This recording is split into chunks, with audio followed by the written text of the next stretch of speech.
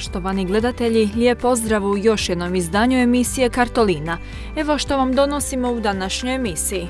Iznimno važan projekt izgradnje reciklažnog dvorišta Perun u završnoj fazi. Miještani pod strane već su upoznati s projektom putem javnih tribina te letaka i brošura koji su dostavljeni u sva kućanstva općine Postrana. Ostanite s nama u narednim minutama.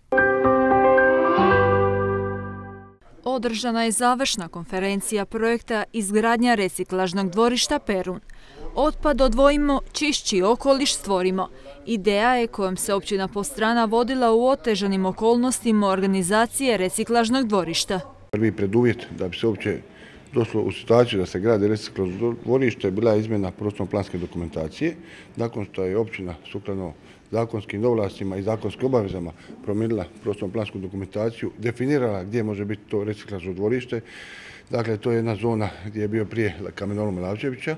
Kad smo to riješili, faza druga je bila rješavanje imovinsko-pravnih odnosa. U najvećem dijelu vlasnici zemljišta je Splitsko-Makarska biskupija. Dakle, mi smo s njima napravili jedan sporazum i dobili smo jedan prostor, nekih 6000 kvadrata u jedan dugoročni najam sa pravom građenja. Dakle, to su bili oni preduvjeti da bi onda išli u ishođenje dokumentacije. Reciklažno dvorište Perun otvara svoja vrata za 10 dana. I samo reciklažno dvorište službeno počinje sa radom 1.12. znači za nekih desetak dana. Znači, općina Postrana je pod jedan ispunila svojim zakonom definiranu obavezu, a mi ćemo sad kroz sljedećih 10-15 dana, mjesec dana eh, i zahvaljujući vama medijima napraviti tu komunikaciju s mještanima. Korištenje dvorišta bit će omogućeno svim stanovnicima u prilagođenim vremenskim periodima, a od njih se očekuje prije svega savjesnost i odgovornost. Stvaranje ovoga reciklažnog dvorišta nema potrebe za zelenim otocima, a s druge strane imali smo i probleme. Opet, zbog nesavjesnih pojedinaca, to bi se, pogotovo vikendom, recimo od petka do ponedjeljka, potvorio jedan mini deponij, jedan mali karepovac, pa bi mi to onda dva dana morali sanirati, čistiti i tako dalje. Ali evo sad smo stvorili preduvjete da će svi mještani imati mogućnost tijekom tjedna, znači dva puta, radno vrijeme će biti dva puta tijekom tjedna jutarnja smjena, dva puta popodnevna smjena i da će subotom. Tako da će svi mještani imati mogućnost, oni koji radi, oni koji ne rade, oni koji rade ujutro, koji rade smjenski, svi ćemo mogućnost doći u to reciklažno dvorište. Osigurana su sredstva za još dva mobilna reciklažna dvorišta. Količine primljenog otpada bit će ograničene. U ovom momentu operativno tekši možemo kazati da će svaki stanovnik mještanin općine Postrana sa svojom osobnom iskaznicom i opremom, to je ono što dovede u reciklažno dvorište, biti primljen na portirnicu reciklažnog dvorišta, njegov znači, otpad, to jest će se pregledati i ustanovit će se da li je on u biti spreman za razdvajanje. Znači mi ne recikliramo, mi odvajamo. Znači taj otpad se odvaja i zbrinjava. Znači to je poanta reciklažnog dvorišta. Naziv je malo kakav je, takav je, ali to je zakonska regulativa i zakon o državnom gospodarenju otpada nam to nalaže. E, odvajat ćemo znači 34 frakcije, imamo kontejnere na samom platovu, to ćete vidjeti kroz idući tjedan kad ćemo imati, ajmo reći, primopredaju. E, osoba koja je donijela taj otpad, kad prođe portirnicu, odlazi na vagu. Na vagu se upisuje količina, to je težina, frakcija koja je, one se odvajaju odvojeno. Znači jedna, druga, treća, četvrta. Znači svak će imati jedan, ajmo reći, karton kao u doktora, koliko će ga donio. Gotovo 60% vrijednosti projekta sufinancirala je Evropska unija, kojoj je cilj do 2035. godine dostići stope recikliranja od minimalno 65%. E, vrijednost prijavljenog projekta je 7,6 milijuna kuna.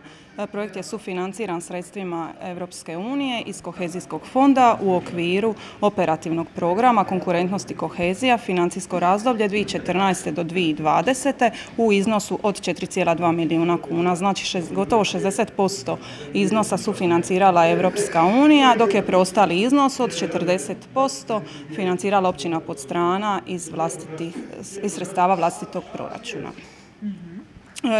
Ovim, ovim projektom e, ostvareni su ciljevi projekta.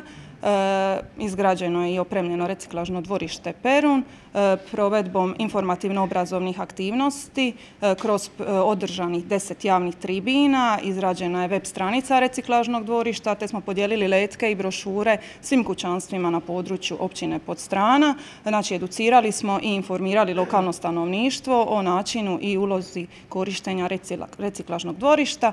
Ostaje nada da će se svi mještani općine Podstrana uključiti u projekt, te tako doprinijeti smanjenju količine otpada na odlagalištima i povećati stopu recikliranja na lokalnoj razini.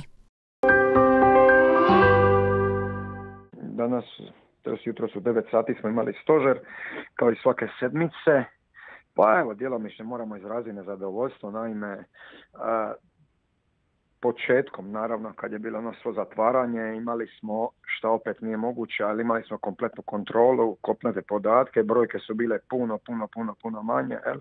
tako da se moglo iskontrolirati broj koji su ljudi koji moraju biti u nekakvoj samoizolaciji, broj ljudi koji su i zaraženi, tako da je sve bilo pod nekakvom kontrolom, danas toga nema.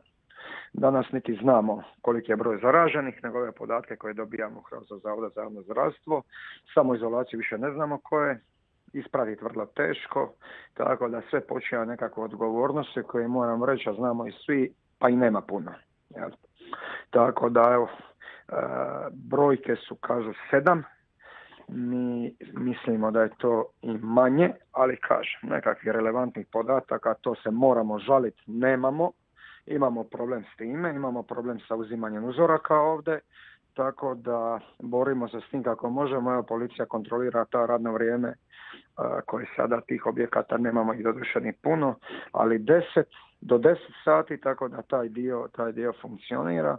Ljudi su ovdje, mala su mjesta, pa su ljudi donekle i, i odgovorni, zna, znaju se svi, tako da ovaj se i može ono, međusobno nešto iskontrolirati, ali kažem, onaj obrambeni onaj zid koji bi trebao počivati na, na našoj zdravstvu ambulanti i to je treba biti puno bolji tako da bi mi svi skup svi skupa mogli šta, šta bezbolnije proći ovu pandemiju koja sigurno neće i nije za sad prošla nas lišo, evo, nažalost došlo je s tim brojkama, brojkama i na šolt, ali evo za sad nekakvih ozbiljnih ozbiljnih zdravstvenih tegoba ili problema kod pojedinaca koji su zaraženi nema.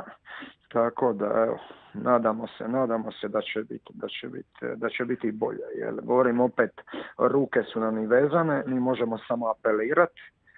Uh, pa evo i ovim putem apeliramo, pogotovo na mlađe, pogotovo na mlađe da, da vode računa gdje se kreću, šta da vode kući, i na koji način uopće se ponašaju odgovorno ili bolje rečeno neodgovorno prema svojim roditeljima, starijima, susjedima i svim ostalima. Pa ovdje mogu samo apelirati i nadat se da će, ovaj, da će biti da će biti da će biti bolje jer, jer prošla na sezona nije, nije bilo je ok, nije se, nismo imali nikakve slučaje, kažem, u početku smo imali potpunu kontrolu, danas to nažalost nemamo, evo, možemo figurativno reći da smo samo nekako savjetodavno tijelo. Pa eto, svima onima stojimo na raspolaganje kojima treba, ja se nadam, opet ponavljam, da, da će brojke biti, da će brojke biti bolje, a sve na nama. Poštovani gledatelji, bilo je to sve u ovom izdanju Kartoline. Budite s nama opet za tjedan dana, a do tada srdačan pozdrav!